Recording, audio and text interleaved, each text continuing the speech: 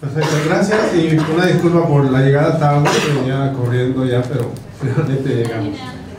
¿Terminaste antes? Qué bueno, Nancy, porque siempre termina después y luego andamos todos corriendo por culpa de Nancy. Qué bueno que hoy terminó.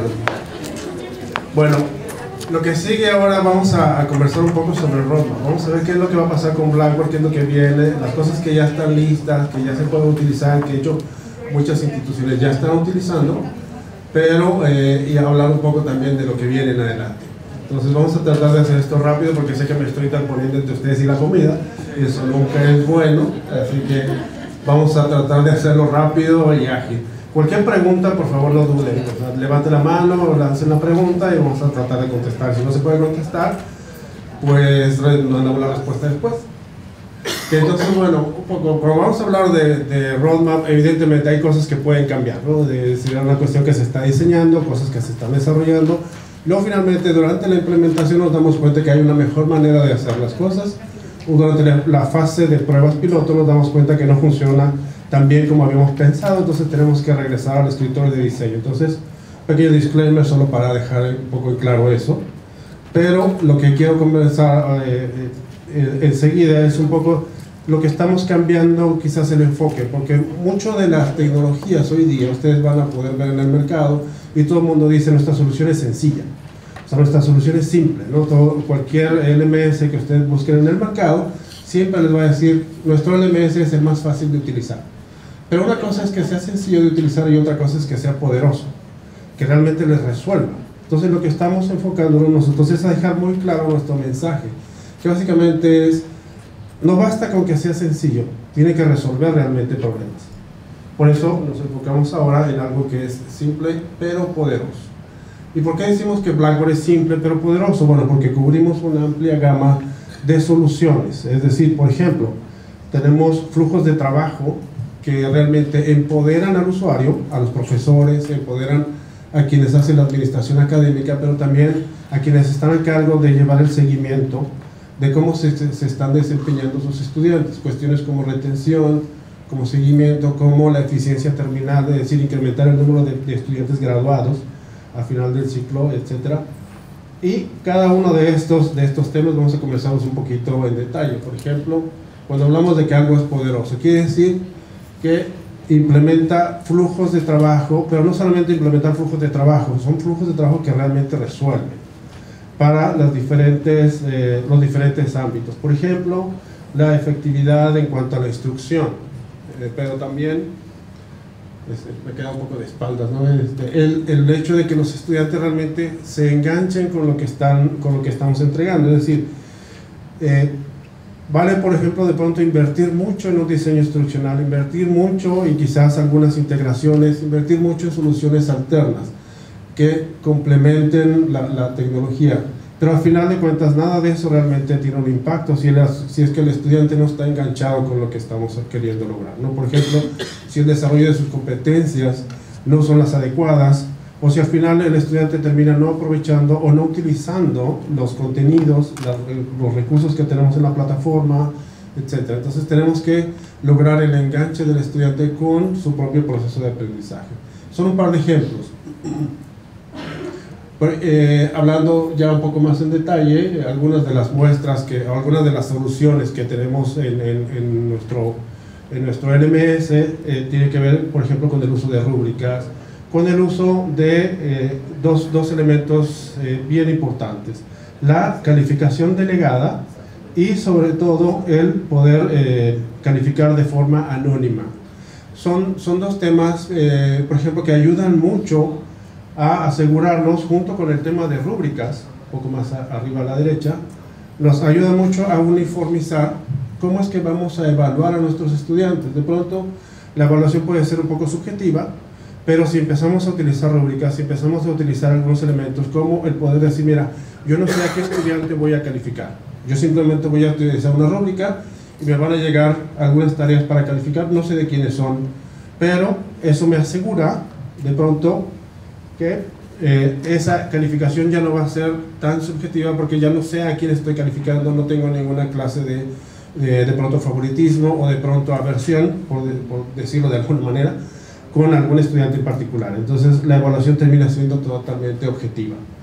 Y el hecho de que podamos delegar esa calificación a más de un instructor dentro del mismo curso nos ayuda a eh, poder ser más eficientes en temas como la educación completamente en línea, los programas completamente en línea, los MOOCs, en donde de pronto tenemos una gran cantidad de estudiantes y tenemos que tener, o debemos de tener, perdón, más de un profesor encargado de esos cursos para asegurarnos de que la retroalimentación que le vamos a entregar al estudiante termina siendo efectiva, pero sobre todo termina siendo a tiempo. Terminamos entregando esa retroalimentación no una semana o dos semanas después de que mandaron la tarea, sino quizás al día siguiente de que nos enviaron la tarea ya tenemos una retroalimentación. Entonces el poder delegar la calificación a más de un instructor dentro del mismo curso nos ayuda a lograr ese enganche y al final terminamos con estudiantes que siempre están eh, recibiendo retroalimentación. La velocidad con la que podemos entregar esa retroalimentación es importante. Y además de la calidad de la retroalimentación también, por supuesto. Algunos otros elementos, eh, por ejemplo, para los estudiantes, ¿sí? tenemos un par de promesas ahí que tiene que ver qué le estamos prometiendo al estudiante y qué le estamos prometiendo al profesor. A los profesores, evidentemente, lo que nos interesa mucho es eliminar toda la parte tediosa de, de, la plataforma, es decir, que no sea una carga la plataforma para poder desarrollar todas sus actividades. Y para los estudiantes el que podemos entregar es un ambiente que sea realmente eh, que los invite a participar, que sea sencillo de utilizar, que sea atractivo, que sea muy, ah, muy amigable para que puedan ellos participar dentro de todas sus actividades. Ya de por sí es complicado los temas que tenemos que, que, desarrollar, los conocimientos que tenemos que desarrollar, como para que todavía la plataforma sea un, un elemento de problema. Entonces tenemos que asegurar que todos estos flujos, que toda la, la interacción sea lo más ágil y en la forma en que los estudiantes están más acostumbrados hoy día, sobre todo hablando, por ejemplo, de aplicaciones móviles, que vamos a ver un poquito más adelante.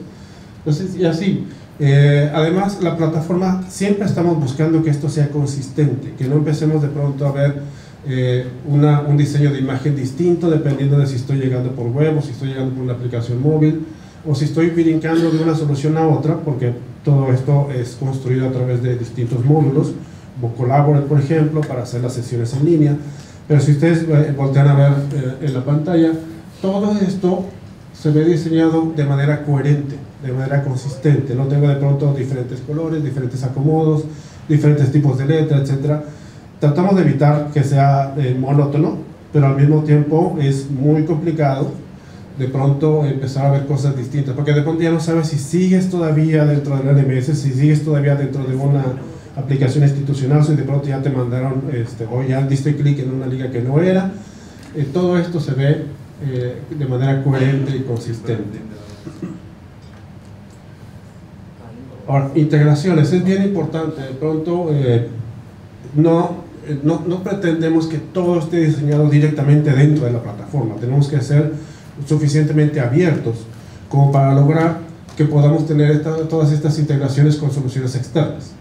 Y estas soluciones externas no es para reemplazar cosas que ya existen en la plataforma, sino más bien para complementar lo que existe ahí y poder implementar todo tipo de soluciones que les provean realmente de un apoyo a sus profesores y que sigan enganchando a sus estudiantes dentro de su proceso. Entonces, si ven, eh, por un lado son la aplicación de estándares, pero también algunos otros elementos como elementos de diseño, de codificación que les permiten crear sus propios componentes que puedan ser incluidos dentro de la plataforma pero un ejemplo de esto, tenemos un total de eh, 26.600 que son los, los building blocks o los componentes de integración que se utilizan a lo largo y ancho del mundo. Son 26.600 componentes de integración. Es seguramente la cantidad más grande de componentes de integración que tiene cualquier plataforma. Eh, si ustedes voltean a ver en el mercado, de pronto van a encontrar que una plataforma o la otra les dice nosotros integramos con 100, con 200 diferentes soluciones. Nosotros integramos con 26.600 diferentes soluciones. Hablando de apertura y de capacidad de integración. 2.729, algunos otros números ahí que pueden darles un poco más de idea de, bueno, qué tanto realmente se están utilizando estos componentes de integración y en dónde, en dónde es que se utilizan. Y así, eh, en cuanto a la accesibilidad, eh, es bien importante que no, no dejemos a ningún estudiante por fuera, que no de pronto porque tengo salud, una debilidad visual o una debilidad auditiva, que eso me impida tomar, un, tomar una capacitación o tomar un curso o desarrollar alguna competencia. Para nosotros es importante y a tal grado que eh, hay un grupo específicamente contratado dentro de Blackboard, es un grupo de personas invidentes, es un grupo de personas con debilidad auditiva, que son quienes nos ayudan a diseñar las, las, soluciones y la plataforma. A, tal punto de que si este grupo es, es digamos que nuestro grupo de, de, apoyo en el diseño, pero también nuestro grupo de apoyo en, en la evaluación de esos, esas primeras pruebas piloto, para saber si realmente esto, la forma en cómo estamos diseñando y cómo estamos desarrollando, realmente ayuda a la eh, inclusión social. Esto nos lo tomamos bastante, bastante en serio. Este es un, poco uno de los nuevos partners que tenemos con Blackboard, es decir, no, no desarrollamos, como les decía hace un momento, todas las soluciones eh, dentro de la plataforma, también desarrollamos partners, relaciones con, con otras empresas. Alay es una de ellas, es un nuevo partner que nos ayuda a algo que es bien importante. El tema de, bueno, la plataforma puede ser, eh, eh, digo, puede ser diseñada de una forma que invite a los estudiantes a participar, pero también tenemos que tomar en cuenta el contenido los materiales que están dentro de la plataforma, los recursos que tenemos incorporados en cada uno de nuestros cursos. Estos contenidos también tienen que poder ser diseñados de una forma que sea eh, eh, fácil de utilizar, que sea inclusiva, que pueda ser compatible de pronto con lectores de pantalla, que pueda ser compatible de pronto con diferentes estilos de aprendizaje. Algunos nos gusta más leer, a algunos nosotros nos gusta más experimentar, a algunos otros nos gustan más los archivos de audio, los archivos de video para poder adquirir conocimiento y precisamente ahí es donde una solución como Alay nos va a apoyar.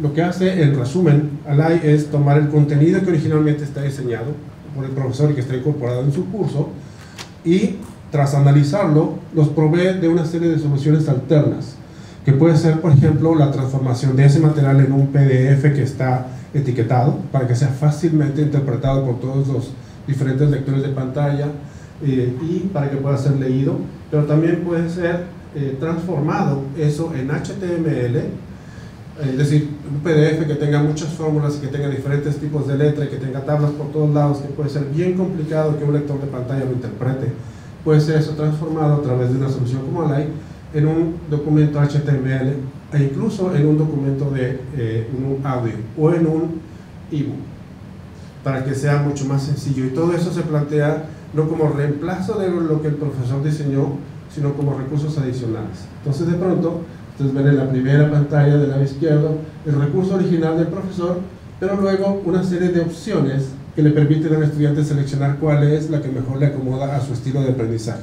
Puede ser el audio, puede ser el HTML, y eso transformado directamente y que además nos va a dar, como ven en, la pantalla del lado derecho, una, una estadística de qué tan accesible son los contenidos que tenemos en todos nuestros cursos. Esto es algo que puede ir curso por curso, que es por ejemplo la pantalla del medio donde me dice, mira, tu PDF ahora ya está un 35% mejorado porque le colocamos etiquetas o porque lo transformamos en otra cosa.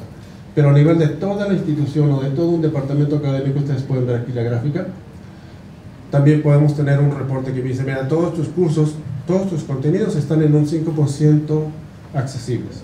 Hay mucho trabajo por hacer ahí. O pasamos de un 5% en una gráfica donde vamos, eh, digamos, corriendo, digamos, esta herramienta con todos nuestros cursos, pasar de un 5% a un 40%. Y eso sin necesidad de un, un esfuerzo individual, de un esfuerzo de que alguien se meta a desarrollar contenido extra es simplemente tomando el contenido que ya existe y transformándolo con soluciones adicionales, con versiones alternas que puedan ser vistas por los alumnos. Entonces, aquí estamos yendo no solamente a desarrollar el medio ambiente, la plataforma, sino también transformando los contenidos de los cursos para ayudar a que los estudiantes siempre estén enganchados y siempre estén participando y siempre tengan los recursos que requieren en el momento que lo necesitan. ¿Ok? Ahora, yendo hacia las capacidades de mostrar cosas distintas dentro de la plataforma, pueden ver aquí el, hecho de poder tener un look and feel completamente eh, distinto. Si ustedes ven una pantalla original de Blackboard van a ver una cosa bastante plana, eh, como sacado de la caja, donde tenemos una página de login tenemos unos cuadritos arriba, unos cuadritos en el centro, por ejemplo, que son los diferentes módulos, pestañas por arriba y un menú del lado izquierdo. Pero eso se puede transformar muy fácilmente. Aquí no estamos haciendo ninguna codificación compleja, simplemente jugando con hojas de estilo tenemos una pantalla que es completamente distinta de la pantalla original de Blackboard. Y esto se puede hacer a través de las mismas herramientas de Blackboard en una cuestión en donde podemos tener diferentes, diferentes look and feel, diferentes diseños de imagen dependiendo de los, eh, por ejemplo, diferentes departamentos académicos o diferentes recintos, etc. Todo eso con la facilidad de simplemente modificar hojas de estilo, jugar un poco con roles institucionales, con una, eh, herramientas adicionales de Blackboard que serían los, la jerarquía institucional en donde de pronto pues, bueno, este es eh, el, el, digamos, el corporativo o, el, o este, el grupo central y después empezamos a distribuir todos esos diferentes diseños de imagen dependiendo de recintos o dependiendo de departamentos académicos o de proyectos específicos incluso. Es algo que se puede hacer muy sencillo dentro de Blackboard y lo que conversamos ahorita, el desarrollo de competencias, no solamente dentro de un curso y para un estudiante en particular, sino también para toda la institución, para saber cómo es que mi estudiante está desarrollando los conocimientos y las habilidades, los valores, las actitudes que requiere desarrollar para cada una de sus carreras, dependiendo de la carrera en la que está. Entonces, podemos llevar este monitoreo a lo largo y ancho de los diferentes programas académicos y podemos fácilmente tener una visión de cómo es que los estudiantes están participando de pronto y cómo es que estas, eh, las actividades y las calificaciones, por ejemplo, a una gráfica, decir, mira, cómo está la distribución en cuanto a calificaciones, pero al mismo tiempo en cuanto a accesos. ¿Tiene algún impacto o no el hecho de que mis estudiantes participen más en sus cursos con respecto a la calificación que están obteniendo? ¿O tiene que ver con el diseño de contenido? Si tengo, si tengo más foros, si tengo más recursos, si tengo más videos, ¿cómo eso impacta de pronto la calificación? ¿Tiene impacto no tiene impacto? Y, el, el, número de accesos que tengo y cada uno de mis estudiantes, no solamente números y, puntos dentro de una gráfica, sino también tengo aquí de pronto los, las, eh, el avatar de cada uno de ellos para darle un poco de una, una, personalización incluso, porque puedo ver quiénes son mis estudiantes, ¿no? Eso, eso da una, una cuestión, ya, ya, digamos, una, una experiencia de usuario mucho, mucho, muy distinta. Ok. Bien, ahora hablando ya, ya más en particular en cuanto al roadmap de cada una de nuestras soluciones, por ejemplo, la experiencia original de, de Blackboard, la estamos cada vez mejorando. Eh, lo que van a ver aquí un poco, un poco de explicación. Van a ver aquí de pronto un estatus que dice que esto está en diseño o está en desarrollo o está disponible. Eso quiere decir, nuestro ciclo de desarrollo empieza con la investigación. Y la investigación quiere decir, bueno, cuál es la mejor forma en eh, que podemos presentar una determinada solución. Investigación también quiere decir que trabajamos con grupos de enfoque. Como les decía hace un momento, nuestro grupo de, de, personas invidentes o de, con debilidad auditiva nos ayuda con el diseño de las soluciones en términos de usabilidad y en términos de, inclusión social. Pero también en esos mismos grupos de enfoque tenemos estudiantes de diferentes universidades, tenemos profesores también de diferentes universidades, y hemos lanzado incluso encuestas para ver qué es lo que eh, realmente importa a cada una de las instituciones y cuáles son este rango de prioridades, lo qué es lo más importante, qué es lo menos importante y sobre qué nos tenemos que enfocar. Entonces, una vez hecha esa investigación, empezamos a trabajar en el diseño y después en la, puerta, en, en la puesta perdón, en un programa piloto, en un beta testing y después liberación de manera general. Ese es un poco el ciclo. Entonces, dependiendo de lo que de, cada una de nuestras soluciones, en dónde está, lo vamos a ver por aquí reflejado. Entonces, la optimización y la, eh, la experiencia de usuario para cada una de nuestras soluciones. Empezamos de pronto con este tema del drag and drop. Esto ya está disponible en la última versión, la que liberamos en, el, en octubre de 2016 pero estamos eh, mejorándolo también para que no solamente podamos arrastrar y pegar archivos individuales, sino que lo podamos hacer a lo largo y ancho de toda la plataforma, es decir, no solamente como elementos de contenido, sino también para que sus estudiantes puedan hacer lo mismo a la hora de que van a mandar una tarea a la hora de que quiera contestar una pregunta de examen, si el examen de pronto la pregunta de, ¿puede, puedo yo subir una imagen o puedo yo subir un archivo o puedo subir una carpeta de archivos, puedo yo contestar una pregunta simplemente arrastrando algo que tengo en mi computadora. Entonces, la idea es llevar esta misma funcionalidad a toda la plataforma, no solamente la creación de contenidos. Si yo tengo algo colocado dentro del Content System, que incluso pueda tomar esa carpeta, el Content System, arrastrarla para acá, para que sea una experiencia mucho más integral. Entonces, eh, ya tenemos la primera versión de eso, que está liberada desde octubre del año pasado, y seguimos trabajando en la mejora de esa, de esa experiencia. La otra parte, en cuanto a integraciones, hablábamos hace un momento de integraciones, entonces, eh, Dropbox es una plataforma que ya puede ser integrada a través de un building block. Eh, tenemos ya la funcionalidad de integración de estos dos, entonces yo puedo tomar contenidos de Dropbox y, pegarlos dentro de mi curso en Blackboard, pero también puedo tomar archivos que tengo en Dropbox para mandarlo como tarea, salud, para, para mandarlo como tarea en alguna, en alguna actividad. Sí. OneDrive. Eso es lo que viene a continuación. De hecho, en la siguiente, bueno, en la siguiente filmina después de esta viene la parte de OneDrive. OneDrive se puede utilizar ya el OneDrive personal en la aplicación móvil y lo que estamos trabajando es en incluir la versión corporativa de eh, OneDrive para que puedas ya también hacer lo mismo que con Dropbox pero con OneDrive. Eso, eso viene en el roadmap y eso va a estar disponible. Bueno, ahorita lo vamos a presentar en la siguiente filmina. Antes de eso, les muestro los recibos. Cuando yo como alumno mando una tarea, quiero poder estar seguro de que le llegó al profesor. Y eso eh, tenemos ya libre, está ya disponible en la versión de octubre de 2016, la entrega de recibos. Esta primera versión de la entrega de recibos es algo que yo puedo tomar una fotografía y descargarlo a mi computadora. Todavía no me llega un correo a, a, mí como alumno diciendo, mira, este es, este es tu recibo de entrega pero sí lo puedo ver en la pantalla, aquí lo ven, es una pantallita emergente que me dice, ya lo entregué, por ahí tiene los datos del nombre del archivo, el peso del archivo, quién lo entregó, si es una tarea en equipo, el, estudiante que sube la tarea va a ver esta pantalla, se la puede mandar a los alumnos, a sus compañeros, pero cuando esté disponible la versión, la, funcionalidad de mandar correo, todos los alumnos van a recibir ese correo para saber que su compañero de equipo ya entregó la tarea. Esto es lo que, lo que ya está disponible, lo pueden, pueden tomar una fotografía, descargarlo y, ya tienen su recibo de entrega de tarea y lo que sigue es enviarlo por correo. La parte de, de OneDrive, esto que comentamos ahorita, lo mismo. Esto está en, eh, como les decía, en investigación para saber cuál es la mejor forma de hacerlo porque bueno, dependiendo también de las configuraciones de la institución, de pronto OneDrive está disponible para toda la institución o solamente de pronto para profesores o solo para personal administrativo. Entonces hay que tener en cuenta todas esas consideraciones para poder diseñar realmente la solución.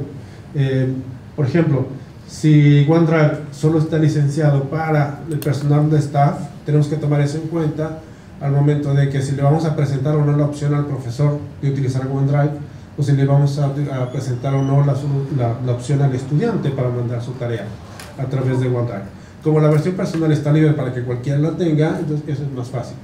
Pero la versión corporativa tenemos que tener muchas consideraciones ahí.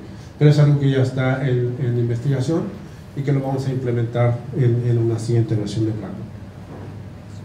Otra cosa eh, tiene que ver también con el, um, el reporte de asistencia o la toma de, asistencia en clase. Para los cursos que son face to face, eh, hay, hay, soluciones en el mercado que te permiten tomar asistencia, ¿no? que te permiten tomar lista, eh, y, podrías integrar algunas de esas dentro de Blackboard, pero estamos construyendo también nuestro propio componente para tomar asistencia de forma que no solamente sea para saber quién está y quién no está o quién llegó tarde, sino poder ligar eso contra alguna evaluación. Entonces, si los estudiantes tienen más de dos retardos, probablemente eso les va a restar algún punto en alguna evaluación, o si todos llegaron a tiempo, quizás esto le va a dar un punto extra en alguna evaluación. Entonces, podemos integrar todo eso en un flujo de trabajo que haga sentido. No solamente saber quién llegó a la clase o quién no llegó a la clase o quién llegó 10 minutos tarde, sino que podemos integrar eso como parte de una solución mucho más completa. El, el, otro, el otro tema, la retroalimentación. El, ahorita le podemos entregar retroalimentación a un estudiante eh, por medio de texto. Yo puedo escribir toda mi retroalimentación, incluso puedo subir archivos como parte de la retroalimentación. Pero lo que está, el, el siguiente, digamos, modificación en eso, el siguiente avance en esto es que podamos hacer eso mismo, pero a través de una grabación. Poder grabar la retroalimentación al estudiante, no solamente en video, también en audio, y poder eso ser parte de la retroalimentación. Eso es algo que ya podemos hacer hoy día con la aplicación BB Grader. Si tenemos una, un, un iPad, y podemos calificar las tareas, podemos utilizar el dispositivo para grabar la, la retroalimentación con audio y video. Lo que estamos haciendo ahora es llevar esta misma experiencia al web para que desde aquí pueda yo eh, dar esa retroalimentación en, en, video a cada una de las tareas o incluso los exámenes que eh, presenten mis estudiantes. En resumen, eh, un poco hablando de, de roadmap, eh, la experiencia original, ahorita vamos a hablar un poco de la experiencia ultra. Eh, pero en cuanto a la experiencia original, hay muchas cosas que ya están disponibles, hay algunas otras cosas que están en desarrollo, hay otras cosas que tienen que ver no solamente con la experiencia móvil, sino con la, la eficiencia en cuanto a estos flujos de trabajo, la capacidad de generar cada vez más tipos de reportes, pero también en eh, la parte de diseño e investigación, Seguimos trabajando con la experiencia móvil, esto es bien importante para nosotros, pero también en la evaluación. Y la evaluación vista desde un punto de vista un poco más general, no calificar una tarea o calificar un examen, sino hacer una evaluación del estudiante un poco, de una forma un poco más holística. Eh, por ejemplo, no sé si ustedes han utilizado rúbricas dentro de sus cursos para calificar tareas o, o calificar de pronto algunos trabajos, pero si esto lo ligan con el uso de los, eh, las metas, los, los, los, objetivos académicos, ¿sabían ustedes que pueden utilizar dos rúbricas para calificar una misma tarea? Una rúbrica la utilizan para calificar el instrumento tal cual y la otra la utilizan para calificar el dominio en, en cuanto a las competencias. Entonces es ir un poco más, eh, más allá de solamente calificar la tarea per se. ¿no? Entonces, esto. Ahora, la experiencia ultra de, de Blackboard no sé cómo voy de tiempo, creo que todavía, ya se fue la que estaba tomando el tiempo. Ahí está. ¿Dónde ya está? 24. Vamos bien. Vamos bien. Ultra, un poco hablando de roadmap, sí. ¿Perdón? Todavía está disponible, apenas Sí, sí, sí, perdón. Eh, sí, Ultra es una, es, eh, digamos, la siguiente versión de Blackboard. Eh, creo que ya hubo un poco, ya platicaron un poco de Ultra, ¿no? Entonces. Sí, preview, la liga de preview para que lo puedan. Perfecto. Entonces ya platicamos de Ultra, pero quiero hablarles un poco de lo que viene dentro de Ultra, que probablemente cuando, cuando esto esté libre ya en, en, en América Latina vamos a poder utilizar todo esto, que tiene que ver con el diseño de páginas institucionales. Cuando ustedes llegan a Ultra, en la versión que está libre hoy día, ustedes llegan a, la, a una sola imagen y de pronto, dependiendo del rol que yo tengo dentro de la plataforma, si soy alumno, si soy profesor o si soy administrador, voy a ver cosas distintas. Pero lo que estamos trabajando es en que podamos no solamente tener esa distinción en cuanto a los roles, sino que además podamos presentar información de, de manera institucional, es decir, una descripción, un, un pequeño portal, una... Eh, una forma, un, un, una página de llegada que me permita darle más información a quienes eh, de pronto llegan a la institución. Eh, al día de hoy, por ejemplo, si yo no tengo una cuenta dentro de Blackboard y si estoy en la versión Ultra, yo simplemente no voy a llegar a ningún lado, porque no, no puedo entrar. Y la idea de una página institucional es que podamos proveer de información general incluso a quienes no están todavía dentro de la plataforma, quienes no son alumnos todavía. Por ejemplo, algunos prospectos, quizás eh, estudiantes de, de, de, algún nivel inferior, por ejemplo, eh, los alumnos de secundaria que se van a graduar y que los quiero invitar a la preparatoria, les puedo presentar una página como esta, dándoles más información para que sepan, bueno, cuáles son los, los de pronto los, los, siguientes pasos, ¿no? ¿Qué tengo que hacer? ¿Dónde solicito inscripción? ¿Cómo es un curso típico dentro de la institución? Etcétera. Entonces, ese tipo de informaciones. Y esto llevado también en la parte interna, para que podamos manejar branding como lo, como lo veíamos en, en la parte de, de la, la, la, vista clásica de, de, Blackboard, donde teníamos un diseño de imagen completamente distinto dependiendo del recinto o dependiendo del departamento académico. Lo mismo estamos desarrollando en Ultra para que, dependiendo de las condiciones que quiera manejar la institución. Por ejemplo, si quiero manejar un branding distinto por recinto, quiero manejar un branding distinto por nivel educativo, quizás secundaria, quiero eh, presentarles un diseño que es mucho más eh, atractivo para alguien de nivel K12 o quizás en preparatoria quiero empezarlos a introducir un poco más hacia un ambiente más eh, universitario o en la universidad o en el posgrado de pronto presentarles una imagen completamente distinta dependiendo de ese nivel. Entonces vamos a poder tener esto en una siguiente versión. Y más allá de eso, el poder elegir una paleta de colores, si ustedes han visto de pronto alguna demostración de Ultra, verán el color negro predominantemente de toda la plataforma, pero eh, la idea de, colocar estas opciones, de, tener una distinta paleta de colores, es para que todo este diseño de imagen del otro lado, eh, conservando las propiedades de que sea responsivo y de que sea eh, minimalista, al mismo tiempo me permite manejar los colores que yo prefiero. Y esto puede ser una configuración por, por usuario, dependiendo de lo que, lo que a mí me, me funcione mejor en cuanto al diseño del curso o en cuanto a experiencia de usuario. El Safe Assign es una herramienta muy utilizada para la parte de detección de plagio o, de originalidad en cuanto a, los, eh, a las tareas perdón, de cada uno de mis cursos. Y esto es algo que va a estar ya disponible en Ultra.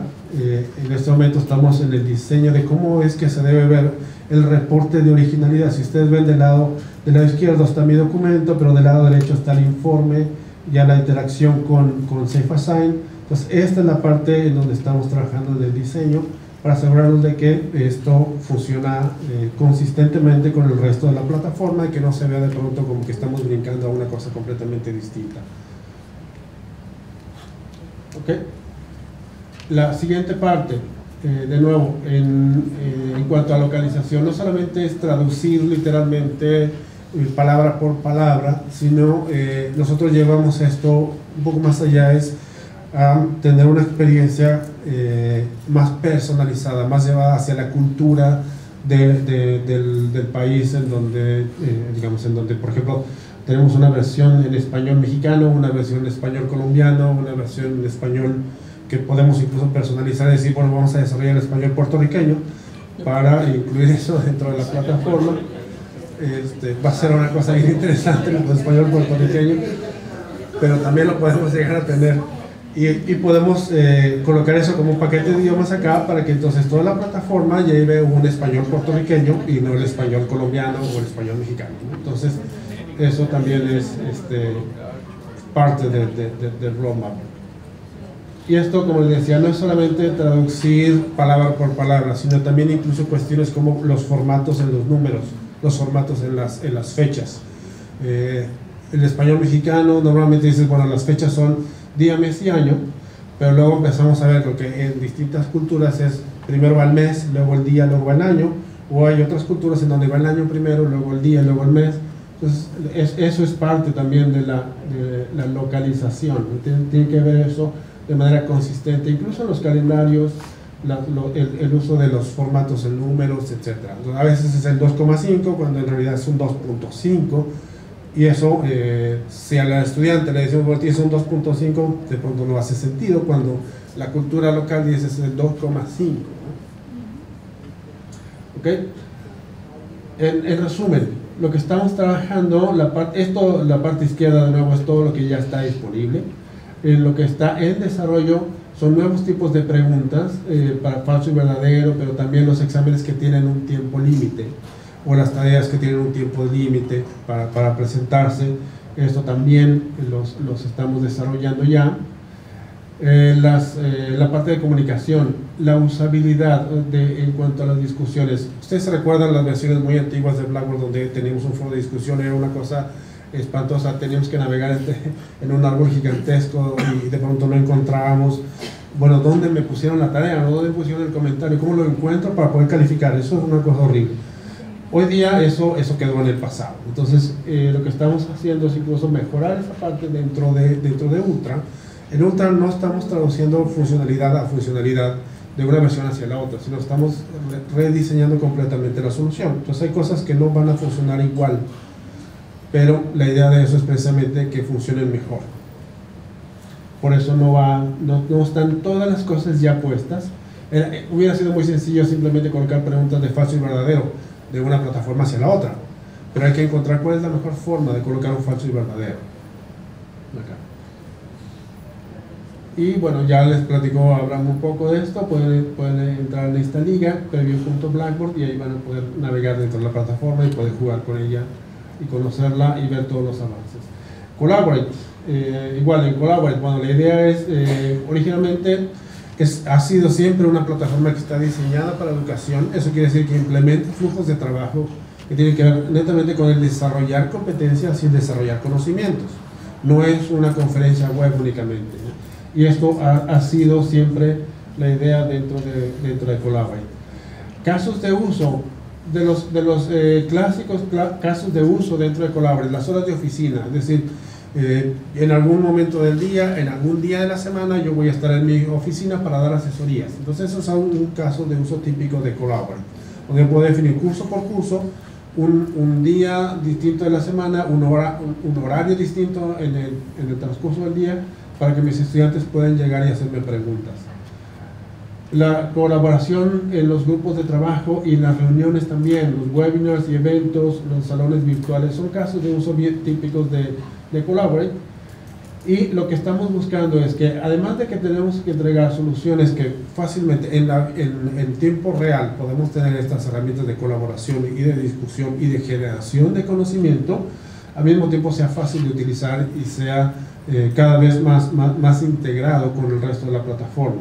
No solamente dentro de la parte web, sino también en la experiencia móvil. Luego,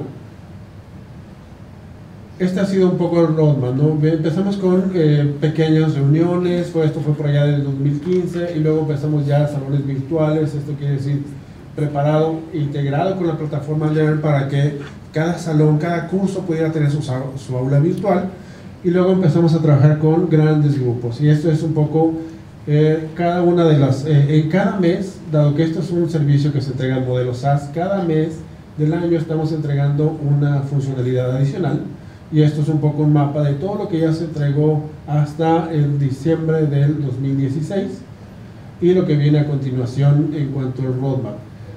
Estamos yendo, digamos, bueno, obviamente hay muchas instituciones que lo están utilizando, pero les quería mostrar esto.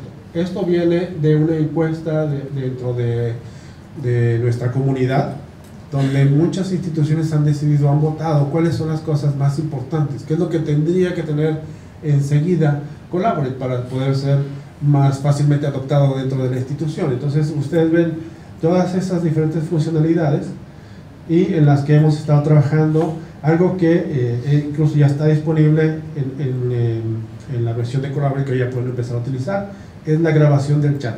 Pero no solamente es la grabación del chat per se, sino ese chat es un menú que pueden ustedes navegar. Entonces de pronto quizás no, se, no, no recuerdan en qué minuto de la grabación se, se habló de un determinado tema. Pero si ustedes como docentes de pronto empiezan, ahora vamos a hablar de tal cosa, ahora vamos a hablar de este otro tema, ahora vamos a hablar de este otro proyecto, etcétera, eso al final termina siendo navegable. Si yo puedo hacer clic aquí y la grabación me lleva hasta el minuto en donde empezamos a hablar de esto. O bien puedo, eh, la pregunta de- del estudiante, yo no tengo que escuchar toda la grabación para saber en dónde el alumno hizo la pregunta y cuál fue la respuesta. Yo puedo ver aquí la pregunta, le doy clic en, este, en, alguna de estas, o sea, ya sea en el minuto o bien en la pregunta o en la conversación que está sucediendo, y entonces la grabación se adelanta o se retrasa hasta el punto en donde empezamos a hablar de ese tema. Entonces, eso abre más posibilidades, porque entonces ahora no solamente tengo la grabación del chat y puedo descargarla, sino que también puedo navegarla. Y puedo navegar mi grabación utilizando el chat como un índice, para, para saber en qué momento resultaron las dudas y a partir de ahí empiezo, empiezo a, a trabajar con mis estudiantes. Entonces, eso está disponible también. Cuando yo descargo la grabación, esa navegación también está disponible. Entonces puedo descargar ese audio o ese video, perdóname, y puedo utilizarlo con mis estudiantes como material de repaso de algunos de los temas. Entonces, cuando empezamos de pronto a tener una sesión de asesoría y eh, tomamos ahí de- la precaución de ir guardando en ese chat, en esa historia, en qué momento estamos hablando de cuál tema, o si el estudiante coloca ahí su pregunta, entonces eso va a ser muy, muy, muy útil para sus estudiantes para tener esa, esa como material de, de apoyo para exámenes, pero también como eh, de pronto consejeros o como tutores o mentores para poder dar un mejor seguimiento de, bueno, en qué momento alguien hizo una pregunta, dónde se lanzó la discusión, por ejemplo, qué comentarios generaron más ideas dentro de sus estudiantes, ¿no? ¿Quién generó la aportación de valor y quién solamente dijo, sí, yo estoy de acuerdo? Entonces, esto también es eh, parte de los casos de uso. Entonces, lo que sigue a continuación, bueno, el, el chat, eso, check, ya lo tenemos. Lo que sigue ahora es eh, soportar eh, un mayor, una mayor cantidad de, de, participantes. Hoy día podemos tener 250 estudiantes en una misma sesión de Collaborate Ultra. Nuestro siguiente límite es tener mil estudiantes dentro de una misma sesión, para que podamos tener de pronto webinars enormes en donde puedo yo hablar, con, por ejemplo, con toda una generación, con todo un mismo departamento académico, con todos los estudiantes del mismo recinto, ¿no? siempre que mis estudiantes sean menos de mil, yo los puedo tener a todos en una misma sesión de, de collaborative, podemos estar ahí varios eh, eh, profesores respondiendo preguntas, entonces puede ser que yo estoy respondiendo, yo estoy dando el, webinar, pero probablemente hay dos o tres profesores más que están ayudándome con el chat y con las preguntas y con todo eso, y podemos tener verdaderamente un webinar enorme con eh, la facilidad de que ahora ya no necesito descargar un componente de Java, simplemente me conecto a una sesión y listo. Fácil de utilizar, fácil de grabar y fácil de integrar con la plataforma. Bueno, lo, lo siguiente, Collaborate tiene, eh, Ultra tiene la gran ventaja de que constantemente está monitoreando la capacidad de ancho de banda que tienen los participantes. Y eso es bien importante. De pronto podemos saber... sí, bien, bien, bien común la pregunta, sí. Eh, te vi la cara. De hecho, eh, constantemente está monitoreando el ancho de banda, tanto del moderador, que está dando la, la, la, charla, como de los participantes. Entonces es muy sencillo saber, porque hay un indicador del lado derecho, cuando yo estoy viendo la lista de participantes, su nivel de, de, conectividad, si está muy bueno o si está eh, teniendo algún problema, o si de plano no, no, puede, no puede conectarse, si está suspendido su ancho de banda por alguna razón, eso lo está monitoreando constantemente. Yo como moderador puedo saber eso y entonces puedo ajustar la, la, charla para atender a quienes no están viendo el video probablemente o quienes no están escuchando adecuadamente. Pero además, eh, no está dependiendo de que el profesor se dé cuenta de que hay un problema de ancho de banda, sino que toma acción en el momento y dice, bueno, si el, si el estudiante no tiene el ancho de banda suficiente, de pronto voy a empezarle a suspender el canal de video. Entonces el alumno va a poder ver, voy a regresar tantito a la esta. Imagínate que estoy aquí presentando un documento y yo estoy por acá, eh, mi, mi, imagen está por este lado porque yo, estoy, yo quiero que me vean mientras estoy dando la, eh, mientras estoy compartiendo un documento. Entonces, lo primero que se les va a pagar a un estudiante que no tiene un buen ancho de banda es mi video, el que yo estoy acá, la camarita que me está tomando a mí mientras estoy compartiendo el documento. Los alumnos van a poder seguir viendo el documento, van a poder seguir participando con el chat, pero ya no me van a ver a mí, pero sí me van a escuchar. Si, si el estudiante de pronto tiene todavía peor ancho de banda que eso, el, el, audio, en lugar de utilizar cuatro canales de audio para escucharme mejor, voy a utilizar dos, voy a utilizar uno. Entonces, en lugar de escucharme estereofónico, por decirlo de alguna manera, me van a escuchar en un, en un solo canal de audio me van a poder seguir escuchando, pero con una calidad de audio menor. Pero eso lo hace automático el sistema. O eso lo hace automático por usuario. Es decir, no es que todos los alumnos me van a escuchar mal, sino el alumno que tiene problemas, él me va a escuchar mal y los demás me van a escuchar bien. Okay. Esa, es, esa es la forma como lo hace. Cuando el ancho de banda no es ni siquiera suficiente para eso, entonces es que el estudiante va a dejar de ver el documento que yo estoy compartiendo acá, pero va a seguir escuchando el audio.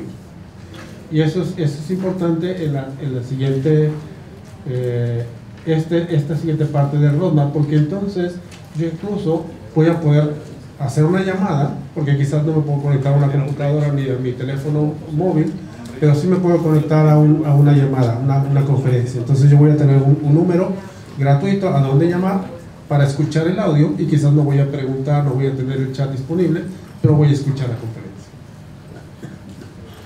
Es la parte de, de, del roadmap.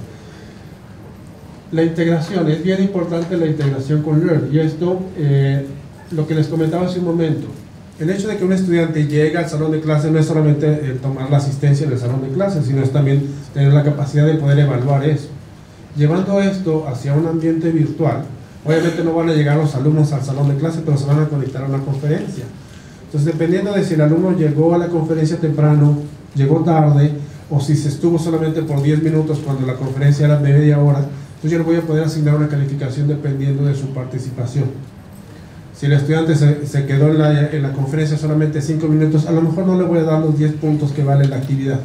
Le voy a dar 5 puntos o le voy a dar 3 puntos. Pero si el estudiante se quedó durante toda la sesión, entonces ya le voy a poder asignar la evaluación completa. Así que no es solamente tomar la asistencia o la participación en la conferencia, sino también tener eso ligado con un flujo de evaluación para yo poder asignar un puntaje distinto dependiendo de la participación del estudiante. Lo que seguirá después es de pronto hacer un poco de, de, de, de análisis más a detalle para saber si la conversación realmente tuvo impacto o no tuvo impacto, en la, o sea, si hiciste preguntas o no hiciste preguntas, o qué clase de pregunta hiciste en la conferencia. Eso vendrá más adelante. Por lo pronto es eh, poder decir, bueno, llegaste a la sesión, pero solamente llegaste y te fuiste. Entonces, bueno, realmente no participaste. ¿no? Eso es lo que viene también dentro de Roma. Resumen, resolvimos ya un tema con la integración con Firefox. Originalmente solamente Chrome, dado que Collaborate se basa en tecnología eh, desarrollada WebRTC, que es lo mismo que se utiliza con los Hangouts de Google. Entonces, Chrome era el navegador eh, por excelencia en donde podíamos hacer de todo. Podíamos compartir la pantalla, podíamos compartir documentos, etc. Los demás navegadores los podíamos utilizar para participar en la sesión, pero si entrábamos de pronto con Firefox, yo no podía compartir la pantalla completa. Eso ya quedó resuelto. Entonces ahora ya puedo utilizar Chrome o puedo utilizar Firefox para poder compartir todo. Eh, pantalla completa, documentos. Explorer eh, no. Edge se puede utilizar, Explorer eh, ya El Edge, el. Edge. El Edge se puede utilizar, pero eh, Edge eh, todavía no, no ha desarrollado el componente de integración con WebRTC como para poder yo compartir la pantalla. Yo puedo participar en la sesión, puedo hacer preguntas, puedo ver el chat, puedo ver lo que, está, lo que se está compartiendo, pero si yo soy moderador no voy a poder compartir mi pantalla. Y si tiene Mac, Safari. Safari puedo compartir documentos y puedo compartir, eh, pero no puedo compartir mi pantalla completa. Es, el mismo caso de Edge. Puedo compartir archivos, puedo compartir, eh, digo, puedo participar en la conferencia y puedo ser moderador, pero no puedo compartir la pantalla completa. Es, digamos, lo, último- lo único que no puedo hacer. Si estoy utilizando Edge o si estoy utilizando Safari. Por lo demás, todo se puede hacer. Pero si se Chrome en Mac. Si usas Chrome en Mac, es eh, Chrome, digamos finalmente en Mac o en Linux o en Windows funciona. Eh, Firefox igual, en Mac, en Windows, en, en, este, Linux también funciona. Eh, Safari y Edge puedo compartir documentos, pero no compartir la pantalla. Es lo único que no puedo hacer. Ya casi, ya casi lo logramos. Eh, bueno, ustedes pueden utilizar Collaborate eh, si no tienen eh, la licencia o si no han comprado este, Collaborate Ultra, eh, pueden utilizar Collaborate también en un trial, así como, como Learn Ultra. Si llegan a esta liga, pueden ahí utilizar por 30 días la, la plataforma para tener esa experiencia dentro de las instituciones, evaluarlo y entonces ver en qué momento o si ya este, es, posible para la institución moverse del clásico al, al ultra. Hay algunos casos de uso, eh, de pronto, es una pregunta también bien recurrente. ¿Qué pasa si yo tengo 600 estudiantes y quiero tener una sesión de Collaborate? Eso lo puedo hacer con Classic, pero no lo puedo hacer con Ultra. Si yo tengo de pronto 800 estudiantes, bueno, lo puedo hacer con Classic. Lo único que tengo que hacer es mandar un ticket de pronto para, para Blackboard para que me pasen a una infraestructura específicamente eh, que va a soportar a esos 800 estudiantes, pero todavía no lo puedo hacer en Ultra. Entonces, sí, Pero sí, eso es por host. O sea, Por- por, la, por host. por host. o sea, 600 personas por host. por claro, sala. por sala, Por sí. sala, un, un, pre- un presentador. Muy presentado, O sea, exacto. si yo tengo 100, eh, una- en un, un evento, o sea, en, un- en una sesión académica, o 30 o 40 profesores, por, 40, por 30 pers- estudiantes, utilizando Collaborate a nivel institucional, ese cálculo de ancho de banda es necesario que lo vean. Ah, sí, sí, claro. Es un muy buen punto. Collaborate Ultra está utilizando una tecnología distinta del Classic, ¿no? Ya no es un cliente, un cliente servidor, ya es una aplicación completamente web. Por lo tanto, los, eh, las demandas de ancho de banda son distintas. Entonces, eso eh, realmente no es mucho el ancho de banda que se requiere adicional, pero sí es diferente. Y eso hay que tomarlo en cuenta también, lo, con lo que les comentaba hace un momento, de que finalmente Collaborate Ultra tiene la capacidad de medir el ancho de banda y hacer ajustes sin que el profesor tenga que hacer nada. Pero es un tema importante a considerar también para el cambio. Y la otra es que cuando hacemos ese, ese cálculo, por ejemplo, ahorita tengo 30 profesores y cada profesor tiene 30 estudiantes, en realidad ese, ese limitante de 250 por sala ni siquiera se está cumpliendo ahí, es decir, yo solamente tengo 30, aunque tenga 30 profesores, pero cada uno tiene 30. Entonces, no es que tenga que juntar todos los, los, los alumnos de ahí para juntar 250, sino que en realidad yo puedo tener 30 profesores y cada profesor puede tener 250 participantes en cada una de sus salas, y eso es perfectamente posible con. ¿Ok? Bien, rapidito, mobile. Para no quitarles demasiado tiempo. Bueno, lo que estamos haciendo con mobile es, eh, obviamente, incrementar la funcionalidad, la facilidad de uso. Hay una estadística bien importante. Ahorita, bueno, estas son las diferentes soluciones que tenemos dentro de mobile para los diferentes casos de uso. Pero hay una estadística importante que la- el 90% del tiempo que pasamos dentro de una eh, de- dentro de, la, digamos, de algún dispositivo móvil lo pasamos en alguna aplicación móvil. Es importante porque entonces quiere decir que no necesariamente la navegación web es lo más importante. Cuando sus estudiantes eh, eh, acceden a cualquier servicio a través de un móvil, lo hacen utilizando una aplicación. O sea, si van al banco, no es a la página web del banco, es una aplicación del banco. Si van al súper para comprar algo, no van a ir a la página web. Si van a una biblioteca para sacar un libro, no es a la página web de la biblioteca, es a una aplicación de la biblioteca.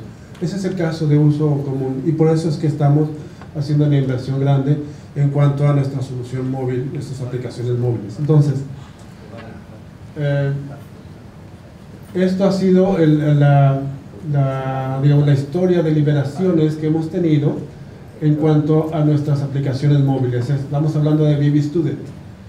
Son, como ustedes pueden ver, cada mes, cada mes están agregando nuevas funcionalidades, nuevos flujos de trabajo, nuevas capacidades dentro de la plataforma para que sus estudiantes puedan hacer todo lo que necesitan hacer desde un dispositivo móvil. Lo que hace algunos años se veía así como que medio, medio irrisorio, decir, oye, un alumno no va a estudiar una carrera a través de un dispositivo móvil. La verdad es que sí, la verdad es que sí. Hoy día eso es perfectamente posible y es, es- muchas de las veces es algo que los estudiantes están esperando. Conscientes de eso es que entonces estamos trabajando con nuestras aplicaciones móviles para que cada mes podamos tener una, una nueva funcionalidad dentro de la plataforma. Algo importante, una aplicación móvil realmente no te va a ayudar mucho si tienes que estar entrando cada cinco minutos para ver si hay algo nuevo, o si hay alguna nueva tarea, o si hay una nueva calificación. El hecho de que tengas esta notificación, incluso si la aplicación está cerrada, es importante. Tienes una nueva tarea, tienes un nuevo foro de discusión, hay un nuevo curso disponible para ti. Todo eso es una notificación, incluso si la aplicación está cerrada. Y esto es algo que eh, ha sido muy demandado por los alumnos y profesores y esto ya está disponible dentro de la plataforma. Flujos de trabajo, tareas. eh, decíamos ahorita, bueno, le voy a poder calificar una tarea, voy a poder entregar un documento pesado utilizando una aplicación móvil, sí, porque lo hacemos a través de integraciones, de pronto con Dropbox, de pronto con OneBox. Entonces no necesito tener un documento en mi dispositivo para poder mandarlo, yo puedo mandar una liga que apunte a donde está el documento para poder hacer la evaluación. Entonces, eh, tareas, la evaluación de exámenes, eh, etcétera, todo esto son cosas que ya se pueden hacer dentro de la plataforma. Y para aquellas instituciones que tienen portales dentro de, digo, que tienen portales y esos portales están en una versión móvil también, existe la posibilidad de poder ligar una cosa con la otra. Entonces, fácilmente desde una, un catálogo de cursos en una aplicación, en un portal de una institución, se puede llevar directamente al curso en la versión móvil también.